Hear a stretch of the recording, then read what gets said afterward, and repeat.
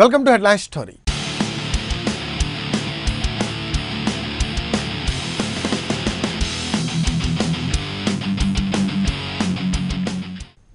ఏపీలో గత ప్రభుత్వ హయాంలో రైతు రుణమాఫీ ఆఖరి రెండు విడతల జాబితాకు సంబంధించి అప్పటి టీడీపీ ప్రభుత్వం ఎన్నికలకు ముందు హడావిడిగా జీవో విడుదల చేసింది. అయితే ఈ ఎన్నికల్లో అధికారంలోకి వచ్చిన వైసీపీ ప్రభుత్వం తాజాగా ఆ జీవోలను రద్దు చేస్తూ సంచలన నిర్ణయం తీసుకుంది. ఇంకోవైపు ఏపీ రైతాంగంలో రైతు భరోసా పథకంపై కూడా అనేక సందేహాలు నెలకొన్నాయి. ఈ విషయాలపై అధికార ప్రతిపక్షాలు వాడివేడిగా విమర్శలు చేసుకుంటున్న పరిస్థితి. ఈ నేపథ్యంలో రైతాంగానికి సంబంధించిన పథకాలు అసలు నిజంగా రైతుల సంక్షేమం కోసమేనా? లేదంటే రాజకీయ నాయకుల స్వార్థం కోసమా? అన్నది చర్చనీయాంశంగా మారింది. ఇదే విషయాలపై ఈరోజు prime nine special headline story.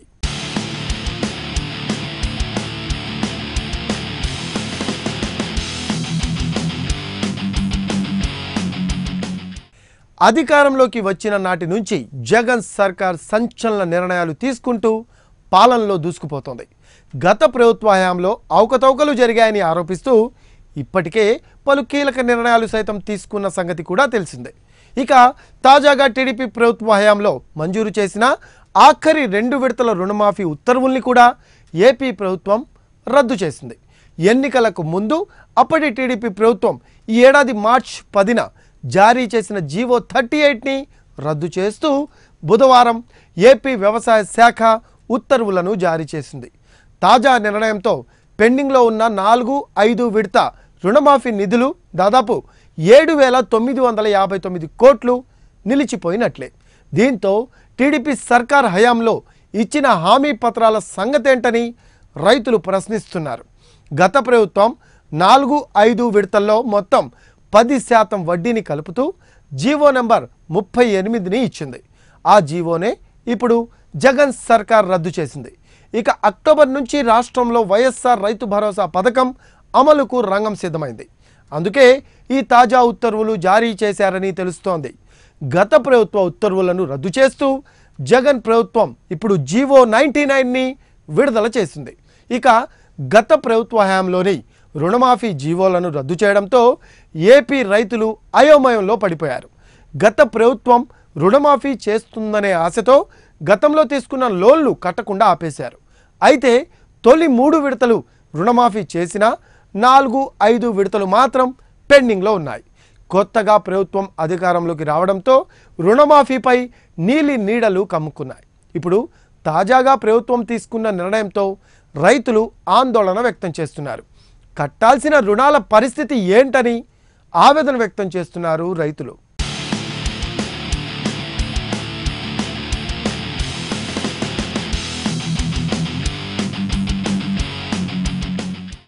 AP ప్రభుత్వ నిర్ణయంపై ప్రతిపక్షం తీవ్ర విమర్శలకు దిగడంతో ప్రభుత్వం తరపున రాష్ట్ర వ్యవసాయ శాఖ మంత్రి కురసాల కన్నబాబు తీవ్ర స్థాయిలో స్పందించారు. ఏపీ ప్రజలకు చంద్రబాబు చేయలేని మేలు ముఖ్యమంత్రి వైఎస్ జగన్మోహన్ రెడ్డి చేస్తున్నారని అందుకే బాబుకు ఆక్రోశం ఎక్కువైందని విమర్శించారు. గురువారం ఆయన మీడియాతో మీడియా సమావేశంలో మాట్లాడుతూ గత టీడీపీ ప్రభుత్వ హయాంలో రైతులను నమ్మించి మోసం చేశారని ఆరోపించారు. రెండు వేల పద్నాలుగులో రైతుల రుణాలు బంగారం డ్వాక్రా రుణాలు మాఫీ చేస్తామని మోసం చేసింది చంద్రబాబు కాదా అని ప్రశ్నించారు. ఎన్నికల నోటిఫికేషన్ వచ్చిన రోజే నాలుగు ఐదు విడతల రుణమాఫీ జీవో ఇచ్చి రైతులను మోసం చేశారన్నారు. బడ్జెట్లో రుణమాఫీకి నిధులను కేటాయించలేదని ఆరోపించారు. రైతులకు రుణమాఫీ నిధులను ఎందుకు ఇవ్వలేదో చంద్రబాబు సమాధానం చెప్పాలని డిమాండ్ చేశారు కన్నబాబు. రుణమాఫీపై చర్చకు రావాలని టీడీపీ నేతలను కన్నబాబు సవాల్ విసిరారు. ఎన్నికల్లో ఇచ్చిన ప్రధాన వాగ్దానాన్ని కూడా అమలు చేయని అసమర్థుడు చంద్రబాబు అని వ్యాఖ్యానించారు. ఎన్నికల కోడ్ సమయంలో కేబినెట్ సమావేశాలు పెట్టారు కదా అప్పుడు ఎందుకు చెల్లించలేదని చంద్రబాబును నిలదీశారు. సీఎం వైఎస్ జగన్మోహన్ రెడ్డి రైతులకు ఇచ్చిన ప్రతి హామీని నెరవేరుస్తున్నారని చెప్పుకొచ్చారు. ఏపీ వ్యవసాయ శాఖ మంత్రి కన్నబాబు మీడియా సమావేశంలోని మాటలను ఒకసారి చూస్తే వ్యవసాయ శాఖ ద్వారా రైతులకు అవసరమైన చేయూత అందిస్తున్నామని రైతులకు అన్యాయం జరుగుతుందని చంద్రబాబు ట్విట్టర్లో వ్యాఖ్యలు చేశారు. చంద్రబాబు బాధ చూస్తుంటే అనుమానం కలుగుతోందన్నారు. రైతులకు తన హయాంలో జరగని న్యాయం ఈ ప్రభుత్వ హయాంలో జరుగుతోందని బాధపడుతున్నారని రుణమాఫీని ఎత్తేసినట్లు ప్రచారం చేస్తున్నారంటూ ఆగ్రహం వ్యక్తం చేశారు. రెండు వేల పద్నాలుగులో పూర్తి రుణమాఫీ బంగారంపై చేసిన రుణాలు మాఫీ డ్వాక్రా రుణాలు కూడా మాఫీ చేస్తానంటూ బాబు హామీ ఇచ్చారు. ప్రజలను మోసం చేసి అధికారంలోకి వచ్చిన తర్వాత వాటిని అమలు చేశారా? రైతు రుణమాఫీ ఎనభై ఏడు వేల ఆరు వందల పన్నెండు కోట్లు చెల్లించాల్సి ఉండగా రకరకాల కమిటీలు రకరకాల లెక్కలు వేసి ఇరవై నాలుగు వేల ఐదు వందల కోట్లుగా తెలిచారు అందులో కేవలం పదిహేను వేల రెండు వందల డెబ్బై తొమ్మిది కోట్లు మాత్రమే ఇచ్చారు. ఎవరు? ఎవరిని మోసం చేశారు? ఎవరు? ఎవరిని దగా చేశారు? ఎన్నికల నోటిఫికేషన్ వచ్చే రోజు చంద్రబాబు సర్కార్ జీవో నెంబర్ థర్టీ ఎయిట్ ఇచ్చింది. నాలుగు ఐదు విడతలకు రుణమాఫీకి నిధులు విడుదల చేస్తున్నట్లు ఆ జీవోలో పేర్కొన్నారు. అదే రోజు సాయంత్రం ఎన్నికల నోటిఫికేషన్ వచ్చింది. మీరు దీనిని అమలు చేద్దామని ఇచ్చారా? ఎగ్గొడదామని ఇచ్చారా? అంటూ ప్రశ్నించారు. ఎన్నికల నోటిఫికేషన్ వస్తుందని తెలిసి కూడా ఆ జీవో ఎలా ఇచ్చారు? ఏ విధంగా రైతాంగానికి డబ్బులు ఇద్దామని అనుకున్నారు? చంద్రబాబు రుణమాఫీ డబ్బులు ఇచ్చేస్తే దానిని ఈ ప్రభుత్వం అమలు చేయడం లేదనే విధంగా తప్పుడు ప్రచారం చేస్తున్నారు. దీనిపై తెలుగుదేశం నేతలు చర్చకు రావాలంటూ కన్నబాబు సవాల్ విసిరారు. ఐదేళ్ళ కాలంలో మీరిచ్చిన రాజకీయ వాగ్దానం ఎందుకు అమలు చేయలేకపోయారు? నిజంగా రైతాంగంపై ప్రేమ ఉంటే ఓటాన్ అకౌంట్ బడ్జెట్లో ఎందుకు నిధులు కేటాయించలేదు? బడ్జెట్లో ఐదేళ్ళ పాటు ఇరవై నాలుగు వేల కోట్లకు సంబంధించి కేటాయింపులు ఎందుకు చేయలేదు? ఎన్నికల్లో ఓట్లు వేయించుకునేందుకు ఇచ్చిన హామీని ఐదేళ్ళలో ఎందుకు పూర్తి చేయలేదు? తప్పంతా మీ వైపు పెట్టుకొని మా ప్రభుత్వాన్ని నిందిస్తారా? ఓటాన్ అకౌంట్లో మీరు నిధులు కేటాయించి ఉంటే కనీసం మీకు కొంతైనా చిత్తశుద్ధి ఉందని అనుకునేవాళ్ళం. రాజకీయ కోణం తప్ప మీ రుణమాఫీలో రైతు కోణం లేదు. మా రాజకీయ వాగ్దానాన్ని మీరు ఎందుకు తీర్చరని శ్రీ వైఎస్ జగన్మోహన్ రెడ్డి గారిని ఎలా నిలదీస్తారు? ఆనాడు ఎన్నికల కమిషన్తో గొడవపడి మరీ క్యాబినెట్ నిర్వహించారు. క్యాబినెట్లో ఆయన రుణమాఫీ జీవో అమలుపై చర్చించారా? రైతుల విషయంలో మీకు చిత్తశుద్ధి లేదు. వంద రోజుల వైఎస్ఆర్సీపీ ప్రభుత్వం తన హామీలపై చిత్తశుద్ధితో పనిచేస్తోంది. రైతులకు పెట్టుబడి సహాయం చేస్తానన్న శ్రీ వైఎస్ జగన్ గారు తన హామీని నెరవేరుస్తున్నారు. మూడు లక్షల వరకు వడ్డీ లేని రుణాలు ఇస్తామన్నారు. మూడు వేల రెండు వందల కోట్లు దీనికి కేటాయించారు. రెండు వేల రెండు వందల కోట్లు వైఎస్ఆర్ పంటల బీమాకు కేటాయింపు చేశారు. మూడు వందల ముప్పై కోట్ల రూపాయలు శనగ రైతులకు విడుదల చేశాం. ఆయిల్ ఫామ్ రైతులకు తెలంగాణ వారితో సమానంగా రేట్ ఇవ్వాలని ఎనభై కోట్లను కేటాయించాం. వ్యవసాయ మిషన్ను ఏర్పాటు చేసి సీఎం ప్రతి నెలా సమీక్షిస్తున్నారు. మార్కెట్ ఇంటెలిజెన్స్ వ్యవస్థను ఏర్పాటు చేశాం. ప్రకృతి విపత్తుల నిధిని కూడా ఏర్పాటు చేసి రెండు వేల కోట్లు కేటాయించామని స్పష్టం చేశారు. కరువు ప్రాంతాల్లో ట్యాంకుల ద్వారా నీరు ఇచ్చేందుకు రైతాంగానికి ట్యాంకర్కు ఆరు వందల రూపాయలు ఇస్తున్నాం. భూముల సమస్యను శాశ్వతంగా పరిష్కరించేందుకు సమగ్ర సర్వే చేయబోతున్నాం. వంద రోజుల్లో ఇవన్నీ చేస్తున్నాం. అధికారంలోకి వచ్చిన మొదటి నిమిషం నుంచే హామీలను అమలు చేయాలని వైఎస్ జగన్ తపన పడుతున్నారు. ఐదేళ్ళలో తొలి సంతకాన్ని చంద్రబాబు అమలు చేయలేకపోయారు. వంద రోజుల్లో వైఎస్ జగన్ గారి తపనను తప్పుపట్టడం అర్ధరహితమన్నారు కన్నబాబు. చంద్రబాబు తన మేనిఫెస్టోను అమలు చేయలేక ఆన్లైన్ నుంచి తొలగించారు. మా మేనిఫెస్టోలోని ప్రతి ఒక్కటి అమలు చేయడానికి మా ముఖ్యమంత్రి ప్రయత్నిస్తున్నారు. రైతు రుణమాఫీ కోసం చంద్రబాబు బ్యాంకుల నుంచి అప్పులు తెచ్చారు. వ్యవసాయ ఆధార పరిశ్రమలు సాంకేతిక పరిజ్ఞానం పెంచడం మౌలిక వస్తువులను మెరుగు చేయడానికి ఈ డబ్బు తెచ్చినట్లు చూపారు. కనీసం వాటికి కూడా ఖర్చు చేయకుండా ఎన్నికల సమయంలో ఇచ్చిన హామీలకు ఈ డబ్బును మళ్ళించారు. ఈ ప్రభుత్వానికి కొన్ని ప్రాధాన్యతలున్నాయి. ప్రజల కోసం ఓ మేనిఫెస్టోను విడుదల చేశాం. ఈ హామీలను అమలు చేయకపోతే నిలదీయండి. కానీ చంద్రబాబు తాను ఇచ్చిన హామీలను ఈ ప్రభుత్వం అమలు చేయడం లేదని నిలదీయడం అర్ధరహితం. అలవిగాని హామీలను ఇచ్చి ఒక్కటి కూడా అమలు చేయకుండా ప్రజలకు అభూత కల్పనలు చూపించారు. ఐదేళ్ళ పాటు చేయాల్సినవి చేయకుండా ఇప్పుడు మాపై విమర్శలు చేయడం సరికాదని అన్నారు. ఇక ఓటాన్ అకౌంట్లో బడ్జెట్ ప్రొవిజన్ పెట్టకుండా మమ్మల్ని ఎలా అడుగుతున్నారు? వైఎస్ జగన్ ఇచ్చిన హామీలు నెరవేర్చకపోతే నిలదీయవచ్చు. చంద్రబాబు హామీలను ఎందుకు నెరవేర్చలేదని ఈ ప్రభుత్వాన్ని ఎలా నిలదీస్తారు? టీడీపీ నేతలు తమ గ్లోబల్స్ ప్రచారాన్ని మానుకోవాలి. రైతులు కష్టాల్లో ఉన్నారని వచ్చే ఏడాది నుంచి అమలు చేయాలని భావించిన రైతు భరోసాను ఈ ఏడాది నుంచి అమలు చేస్తున్నాం చంద్రబాబు వల్ల రైతులు నష్టపోయారు. ఇప్పటికైనా టీడీపీ నాయకులు సంయమనం పాటించాలి. ఈ ప్రభుత్వంపై బురద చల్లే ప్రయత్నం మానుకోవాలి. కేంద్రం చాలా పథకాలకు నిధులు ఇస్తోంది. రాష్ట్ర బడ్జెట్లో కేంద్ర నిధులను కూడా ప్రత్యేకంగా చూపుతాం. ఒక పథకం అమలు చేసినప్పుడు కేంద్ర రాష్ట్రాల వాటా ఉంటుంది. రైతులకు పన్నెండు వేల ఐదు వందల పెట్టుబడి సహాయం అందిస్తామని వైఎస్ జగన్ ప్రకటించారు. ఆ తర్వాత కేంద్రం రైతులకు ఆరు వేల రూపాయలు ఇస్తానని ప్రకటించింది. కేంద్రం నిధులను కూడా కలిపి రాష్ట్రం రైతులకు పన్నెండు వేల ఐదు వందల రూపాయలు ఇస్తుంది. దీనిని మేం ఎక్కడా దాచిపెట్టడం లేదు. అలాగే కౌలు రైతులకు రాష్ట్రమే పూర్తిగా పన్నెండు వేల ఐదు వందల రూపాయలు ఇస్తుందని కన్నబాబు స్పష్టం చేశారు. మీరు ఎన్ని బడ్జెట్లు పెట్టారు? రెండు వేల పద్నాలుగు పదిహేను పదిహేను పదహారు పదిహేడు పద్దెనిమిది పద్దెనిమిది పంతొమ్మిది. ఐదు బడ్జెట్లు పెట్టారు. నేను సూటిగా అడుగుతున్నాను. నిజంగా మీకు రైతాంగం మీద ప్రేమ ఉంటే ఓటాన్ అకౌంట్ బడ్జెట్లో ఎందుకు మీరు నాలుగో విడత ఐదో విడత రుణమాఫీకి డబ్బులు పెట్టలేదు? నిధులు కేటాయించలేదని అడుగుతున్నాను. చెప్పనండి ఓటాన్ అకౌంట్లో మీరు నిధులు కేటాయించలేదు. బడ్జెట్లో ఐదేళ్ళ పాటు మీరు అనుకున్న ఇరవై నాలుగు వేల ఐదు వందల కోట్లు ఇవ్వడానికి సరిపడే ఎలకేషన్స్ చేయలే. ఏ ఎలకేషన్స్ చేశారో కూడా తీసుకొచ్చాను నేను. ఎందుకంటే మీరు మాట్లాడుతున్నారు కదా. గత రెండు రోజుల నుంచి పత్రికల్లో కూడా కనీసం వాస్తవాలు ఏంటనేది ఆలోచించకుండా విశ్లేషణ చేయకుండా కొన్ని కథనాలు వచ్చినాయి. మొదటి ఇన్స్టాల్మెంటు ఇచ్చింది ఎంతంటే యాభై నాలుగు లక్షల తొంభై ఎనిమిది వేల అకౌంట్లలో ఏడు వేల ఐదు వందల అరవై ఐదు కోట్లు ఇచ్చారు. సెకండ్ ఇన్స్టాల్మెంట్లో ముప్పై ఐదు పాయింట్ మూడు తొమ్మిది అకౌంట్లకి మూడు వేల రెండు వందల రెండు కోట్లు ఇచ్చారు. థర్డ్ ఇన్స్టాల్మెంట్కి వచ్చేటప్పటికి ముప్పై మూడు పాయింట్ తొమ్మిది ఆరు లక్షల అకౌంట్లో మూడు వేల మూడు వందల యాభై ఆరు కోట్లు వేశారు.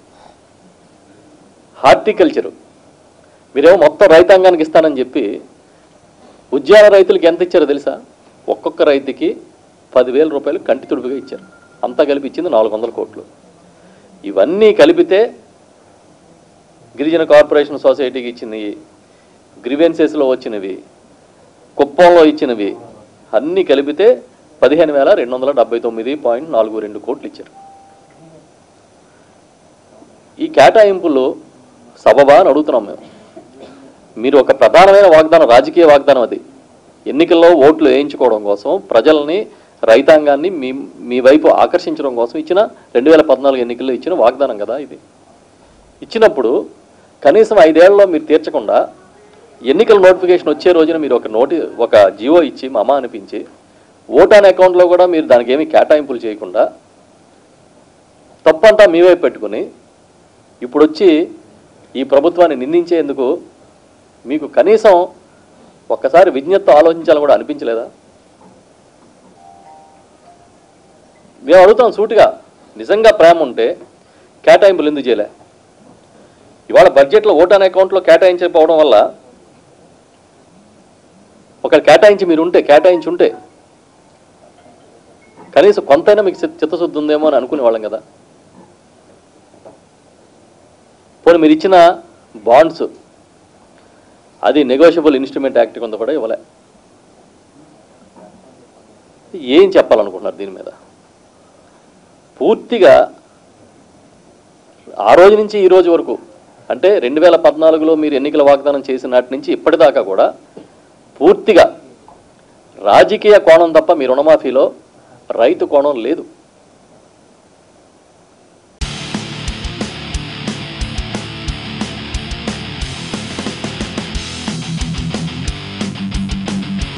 నాడు అధికారంలో ఉన్నప్పుడు తొలి సంతకం చేసిన రైతుల రుణమాఫీని తెలుగుదేశం ప్రభుత్వం మంచం కోళ్ళ సామెతలా మార్చిందన్న విమర్శలున్నాయి. తొంభై లక్షల మందికి ఎనభై ఏడు వేల కోట్లతో రుణమాఫీ చేస్తామని చెప్పి వడపోతల మీద వడపోతలతో ముప్పై ఆరు లక్షల మందికి ఇరవై నాలుగు వేల కోట్లు మాత్రమే ఖరారు చేసింది. ఆ మొత్తాన్ని కూడా ఒకేసారి కాకుండా ఐదు అంచెలుగా ఇస్తామని చెప్పి మూడు విడతలు మాత్రమే చెల్లించింది. చివరి నాలుగు ఐదు విడతల్లో దగ్గర దగ్గరగా ఎనిమిది వేల కోట్ల రుణమాఫీ బకాయి విడుదలకు ఎన్నికల ముందు అంటే మార్చి పదిన జీవో థర్టీ ఎయిట్ని విడుదల చేసింది. ఇంతలోనే అన్నదాత సుఖీభవ అన్న మరో పథకాన్ని తీసుకొచ్చి కేంద్రం గత డిసెంబర్లో ప్రకటించిన పిఎం కిసాన్ సమ్మాన్ పథకంతో జోడించి రుణమాఫీ నిధులను కొన్నిటిని అటు మళ్ళించింది. ఎన్నికల కోడ్ రావడంతో ఆ జీవో అమలు కూడా నిలిచిపోయింది. రుణమాఫీని ఇలా ప్రహసనంగా మార్చినందుకు చంద్రబాబు ప్రభుత్వం మొన్నటి ఎన్నికల్లో భారీ మూల్యమే చెల్లించుకుంది. కొత్త ప్రభుత్వం అధికారంలోకి వచ్చాక పాత ప్రభుత్వ నిర్ణయాలన్నిటినీ సమీక్షించడం పరిపాటే. పాత ప్రభుత్వం చేసిన నిర్ణయాల్లో ప్రజలకు నష్టం కలిగించే వాటిని తిరగదోడడంలో తప్పులేదు. కానీ ఆ పేరుతో రైతులకు ఎంతో కొంత ఉపశమనం కలిగించే రుణమాఫీ బకాయిల చెల్లింపులు నిలిపివేయడం ఎంతమాత్రం సమర్థనీయం కాదని రాజకీయ విశ్లేషకులు అభిప్రాయపడుతున్నారు. రుణమాఫీ తెలుగుదేశం పార్టీ ఇచ్చిన హామీయే తప్ప ప్రభుత్వం ఇచ్చిన హామీ కాదని దానికి తాము కట్టుబడాల్సి ఉండాల్సిన అవసరం లేదని కొందరు వైసీపీ నాయకులు వాదిస్తున్నారు. అయితే రుణమాఫీపై గత అసెంబ్లీలో తీర్మానం ఆమోదించారు. ప్రభుత్వం జీవోలు కూడా జారీ చేసింది. కాబట్టి ఇది ప్రభుత్వం ఇచ్చిన హామీయే. రైతు భరోసా తీసుకువస్తున్నాం కాబట్టి రుణమాఫీని నిలిపివేసినా పర్వాలేదని ప్రభుత్వం భావిస్తున్నట్లుగా ఉంది. అక్టోబర్ నుంచి అమల్లోకి తీసుకువస్తామంటున్న రైతు భరోసాకు ప్రభుత్వం పెడుతున్న షరతులు చూస్తుంటే వైసీపీ నవరత్నాల్లో ఇచ్చిన హామీకి ప్రభుత్వం ప్రకటించిన విధానానికి తేడా స్పష్టంగా కనిపిస్తోంది. రాష్ట్రంలో ప్రతి రైతు కుటుంబానికి వ్యవసాయ పెట్టుబడి సహాయం కింద సంవత్సరానికి పన్నెండు వేల ఐదు వందల రూపాయల చొప్పున ప్రతి ఏటా ఖరీఫ్ ప్రారంభానికి ముందే ఇస్తామని ఎన్నికల ప్రణాళికలో వాగ్దానం చేశారు. ఆ ప్రకారం సొంత భూమి కలిగి ఉన్న నలభై ఎనిమిది లక్షల యాభై వేల మంది రైతులు కౌలుదారులుగా ఉన్న పదిహేను లక్షల ఆరు వేల మంది మొత్తం అరవై నాలుగు లక్షల మంది రైతు కుటుంబాలకు రైతు భరోసా కింద రాష్ట్ర ప్రభుత్వం పన్నెండు వేల ఐదు వందల రూపాయల చొప్పున చెల్లిస్తుందని అందరూ భావించారు. లబ్ధిదారుల సంఖ్యను వడపోసి కుదించారు. ప్రభుత్వం తాజాగా చేసిన ప్రకటనను బట్టి పీఎం కిసాన్ సమ్మాన్ కింద కేంద్రం రెండేసి వేలు చొప్పున మూడు విడతలుగా చెల్లించే ఆరు వేలకు ప్రభుత్వం అదనంగా మరో ఆరు వేల ఐదు వందల రూపాయలు జోడించి చెల్లిస్తోంది. కౌలు రైతులకు పీఎం కిసాన్ సమ్మాన్ పథకం వర్తించదని తేల్చి చెప్పడంతో కౌలుదారులకు పన్నెండు వేల ఐదు వందల రాష్ట్ర ప్రభుత్వమే చెల్లిస్తానంటోంది. అయితే కౌలుదారులందరికీ ఇది వర్తించదు. అందులోనూ సామాజిక విభజన తీసుకువచ్చారు. నలభై ఎకరాల ఆసామి నుంచి పది మంది కౌలుకు తీసుకొని సాగు చేస్తే అందులో ఒకరికే రైతు భరోసా వర్తింపజేస్తామనడం. ఎకరాకు తక్కువ భూమి సాగు చేసే కౌలు రైతులను మినహాయించడం వంటి నిబంధనలు ఎనభై శాతం దాకా భూమి సేద్యం చేస్తున్న కౌలు రైతులకు ఏపాటి భరోసా ఇస్తుందన్నది ప్రశ్నార్థకమైంది. ఈ ఏడాది ఖరీఫ్ సీజన్ ప్రారంభం నుంచి ఇప్పటి వరకు దాదాపు వంద మంది రైతులు ఆత్మహత్యలు చేసుకున్నారు. ఈ ఆత్మహత్యలకు ప్రధాన కారణాల్లో ఒకటి రుణభారం. కేంద్ర రాష్ట్ర ప్రభుత్వాలు అనుసరిస్తున్న నయా ఉదారవాద విధానాలు వ్యవసాయ రంగాన్ని సంక్షోభ సుడిగుండంలోకి నెడుతున్నాయి. ఈ ఖరీఫ్ సీజన్లో బ్యాంకులు నిర్దేశించుకున్న వ్యవసాయ రుణాల లక్ష్యాల్లో ముప్పై నాలుగు శాతం అంటే పద్దెనిమిది వేల కోట్లు ఇంతవరకు పంపిణీ చేయలేదంటే రైతుల పట్ల వీటికి ఎంత శ్రద్ధ ఉందో అర్థమవుతుంది. ఖరీఫ్ సీజన్ మరికొద్ది రోజుల్లో ముగియనుంది. రుణమాఫీ బకాయిలు చెల్లిస్తే రబీకైనా రైతులకు కొంత వెసులుబాటు లభించేది.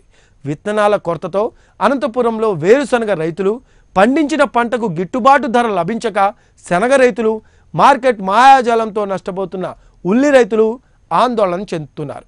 రాష్ట్రంలో ఆరు వందల మండలాలకు గాను మూడు వందల మండలాల్లో కరువు పరిస్థితులు నెలకొన్నాయి. రిజర్వాయర్లు చెరువులు నిండి ఉండడంతో రబీలోనైనా పరిస్థితి కొంత మెరుగుపడుతుందని ఆశిస్తున్నారు. ఈ పరిస్థితుల్లో రుణమాఫీ రద్దు చేయడం అంటే రైతులకు అన్యాయం చేయడమే అన్న వాదనలు వినిపిస్తున్నాయి. అనవసర ప్రతిష్టకు పోకుండా ప్రభుత్వం ఈ విషయంలో పునరాలోచన చేయాలని చివరి నాలుగు ఐదు విడతల రుణమాఫీ నిధులను విడుదల చేసి రైతులకు ఉపశమనం చేకూర్చాలన్న డిమాండ్లు గట్టిగా వినిపిస్తున్నాయి.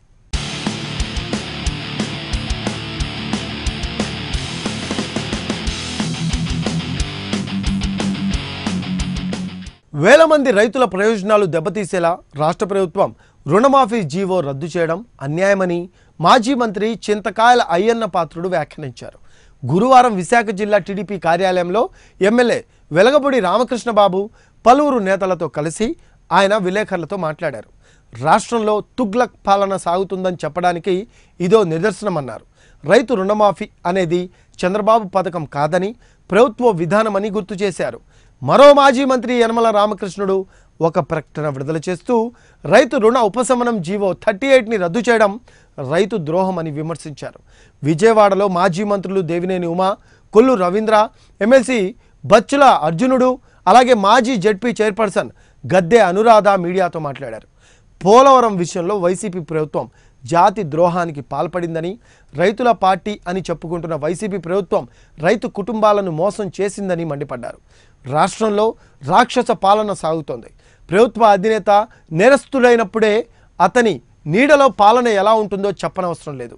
జగన్ ప్రభుత్వం అధికారంలోకి వచ్చాక వైసీపీ కార్యకర్తల దమనకాండ పెరుగుతోంది. పోలీస్ వ్యవస్థ నిర్వీర్యమైంది అని ఎమ్మెల్యే గోరంట్ల బుచ్చయ్య చౌదరి రాజమహేంద్రవరంలో ధ్వజమెత్తారు. ఇక రుణమాఫీ రద్దు చేసి రైతుల నోట్లో మట్టి కొడుతున్నారని మాజీ మంత్రి సోమిరెడ్డి వైసీపీ ప్రభుత్వంపై మండిపడ్డారు. ఈసీని బూచీగా చూపి నాలుగవ విడత రుణమాఫీని అడ్డుకున్నారని ఆగ్రహం వ్యక్తం చేశారు. వ్యవసాయ మంత్రి కన్నబాబు అవగాహన లేకుండా మాట్లాడుతున్నారని అన్నారు. ముప్పై మూడు లక్షల మంది రైతులకు ఇవ్వాల్సిన ఏడు వేల ఐదు వందల ఎనభై రెండు కోట్లను ఎగ్గొట్టడం రాష్ట్ర రైతాంగానికి గొడ్డలి పెట్టు అని పేర్కొన్నారు సోమిరెడ్డి. మేము మార్చి పదవ తేదీన చాలా క్లియర్గా ఇచ్చాము. నాలుగు వేల చిల్లర కోట్లు రిలీజ్ చేస్తూ ఇచ్చాము. దాంట్లో మూడు వందల చిల్లర కోట్లు రైతుల అకౌంట్లలోకి వెళ్ళిపోయింది. పీడీ అకౌంట్లో నాలుగు వేల కోట్లు పీడీ అకౌంట్లో పెట్టాము. ఫోర్ థౌజండ్ క్రోర్స్ పెట్టాము. మీరు ఎలక్షన్ కమిషన్ అడ్డం పెట్టుకొని ఎలక్షన్ కమిషన్ని బూచిగా చూపించి మీ చీఫ్ సెక్రటరీని మార్పించుకొని రిలీజ్ అయ్యే అమౌంట్ నాలుగు వేల చిల్లర కోట్లు ఫోర్త్ ఇన్స్టాల్మెంట్ ఆపిచ్చింది మీరు. ఈరోజు ఎనిమిది వేల కోట్లు ఆపేసేసినారు. అన్నదాత సుఖీభవ మేము పదిహేను వేల రూపాయలు పెట్టాం. కేంద్ర ప్రభుత్వం ఆరు వేల రూపాయలు అంటే మేము తొమ్మిది వేలు కలిపి పదిహేను వేలు వచ్చేటట్టు చేశాం. మేము ముందుగా నలభై రెండు లక్షల మంది రైతులకి ఇచ్చాం. ఆరు లక్షల అకౌంట్లు టాలీ కావాల్సినట్టుండింది అది కూడా రిలీజ్ చేసేవాడు కౌలు రైతులకి సీజన్లో కౌలు రైతులకి రైతు ఓనర్షిప్తో సంబంధం లేకుండా కౌలు రైతులకు కూడా మేము ఇస్తామని చెప్పాం ఎవరైతే కేంద్ర ప్రభుత్వ నామ్స్లో ఐదు ఎకరాల్లో లోబడే ఉండాలంటే ఐదు ఎకరాలు ఉండే పైనుండే రైతుకు కూడా పదివేలు మేము ఇస్తామని చెప్పాం. డైరెక్ట్గా పదివేలు మేము ఇస్తాం. కొరవ రైతులకి కేంద్రం ఆరు వేలు ఇస్తే మేము తొమ్మిది వేలు ఇస్తాను. మీరు ఈరోజు పన్నెండు వేల ఐదు వందలు అనౌన్స్ చేసినారు. పన్నెండు వేల ఐదు వందల్లో ఎవరికి కన్ఫ్యూజన్ మీరు ఆరు వేలు కేంద్రం ప్లస్ ఆరు వేల ఐదు వందలు ఇస్తున్నారా? లేకపోతే పన్నెండు వేల ఐదు వందలు ఇస్తున్నారా? రెండు మేము రిలీజ్ చేసిన మూడు వేలు ప్లస్ కేంద్రం ఆల్రెడీ ఇప్పుడు థర్డ్ ఇన్స్టాల్మెంట్ కూడా రిలీజ్ చేసేస్తుంది మేము రిలీజ్ చేసిన మూడు వేలతో కలిపి ఆరు వేల ఐదు వందలు ఇస్తున్నారా? మేము రిలీజ్ చేసిన మూడు వేలు కాకుండా ఆరు వేల ఐదు వందలు ఇస్తున్నారా? మీరు చెప్పిన పన్నెండు వేల ఐదు వందలు కేంద్రం ఇచ్చే ప్రోగ్రాం కాకుండా మీరు ఇస్తున్నారా?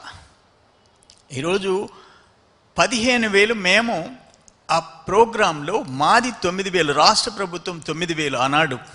కేంద్రం ఆరు వేలు పదిహేను వేలు అయితే మీరు పన్నెండు వేల ఐదు వందలు చేశారు. మీరు చెప్పిన అరవై రెండు లక్షల మంది రైతులకి దాదాపు పదిహేడు పద్దెనిమిది వందల కోట్లు. ఇక్కడ ఎనిమిది వేల కోట్లు నాలుగో వే నాలుగో విడత ఐదో విడత. అంటే రెండు కలిపి అక్కడ రుణ విముక్తిలో రుణమాఫీలో ఎనిమిది వేల కోట్లు ఇక్కడ మీరు చెప్పే రైతు భరోసాలో అన్నదాత సుఖీభవన్ పక్కన పెట్టి పదిహేను వేలది పన్నెండు వేల ఐదు వందలు చేసే దాంట్లో పదివేల కోట్లు పదివేల కోట్లు రైతులకి నష్టం కలిగిస్తున్నారు. మీరు తీసుకున్న నిర్ణయం. మీరు ఏమి ఏమి రైతుల కోసం మీరు ఏం చేశారో చెప్పండి. టెన్ థౌజండ్ క్రోస్ ఈ ఒక్క సంవత్సరం. ప్రతి సంవత్సరం పదిహేను వేలకి పన్నెండు వేల వందలకి తేడా పోతుంది.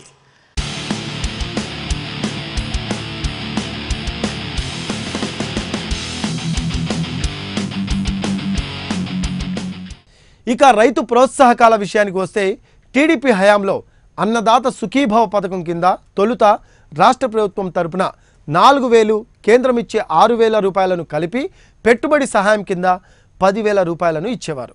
ఎన్నికల సమయానికి ఆ సహాయాన్ని మరింత పెంచుతూ పెట్టుబడి సహాయాన్ని పదిహేను వేలకు పెంచారు.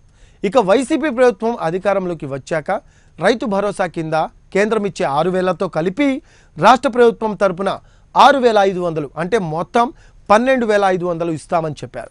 అక్టోబర్ పదిహేనవ తారీఖు నుంచి ఆ పథకాన్ని అమల్లో పెడతామని ఇప్పటికే ప్రకటించారు. అయితే ఇక్కడే ఓ చిక్కొచ్చి పడింది.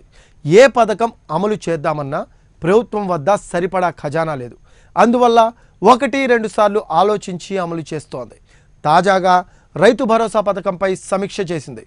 వచ్చే నెలలో ఈ స్కీమ్ అమలు చేయాల్సి ఉంది. మరి ఏ రైతులకు పథకం ప్రయోజనం అందాలి అనే అంశంపై కసరత్తులు జరిగాయి. కేంద్ర ప్రభుత్వం పిఎం కిసాన్ అనే స్కీమ్ ద్వారా ఏడాదికి ఒక్కో రైతు కుటుంబానికి ఆరు వేలు ఇస్తుంది. అందులో ఉన్న షరతులనే రైతు భరోసా పథకానికి అమలు చేయాలని చూస్తోంది ఏపీ ప్రభుత్వం. అంతేకాదు వాటితో పాటు కౌలు రైతుల్ని గుర్తించడానికి మరిన్ని కండిషన్లు కూడా పెట్టబోతుంది. అందువల్ల రైతు భరోసా స్కీమ్ వల్ల ప్రయోజనం పొందే రైతుల సంఖ్య సగానికి పైగా తగ్గబోతుంది. ప్రస్తుతం ఏపీలో కౌలు రైతులతో కలిపి అరవై నాలుగు లక్షల ఏడు వేల మంది ఉన్నారు. వాళ్ళందరికీ రైతు భరోసా కల్పిస్తామని ప్రభుత్వం చెప్పింది. వాళ్ళలో భూమి ఉన్నవారు నలభై ఎనిమిది లక్షల ఏడు వేల మంది ఉన్నారు. భూమి లేని కౌలు రైతులు పదిహేను లక్షల ముప్పై ఏడు వేల మంది ఉన్నారు. అందరికీ పథకం వర్తించేలా చేస్తామన్న ప్రభుత్వం ఇప్పుడు తెస్తున్న రూల్స్ ప్రకారం చూస్తే మ్యాక్సిమం ముప్పై ఆరు లక్షల మంది మాత్రమే లబ్ధి పొందేలా కనిపిస్తోంది. ఇక ఇదే విషయానికి సంబంధించి ఏపీ బీజేపీ అధ్యక్షుడు కన్నా లక్ష్మీనారాయణ స్పందించారు. AP CM Jagan sticker CM మాదిరిగా తయారవుతున్నారంటూ విమర్శలు చేశారు.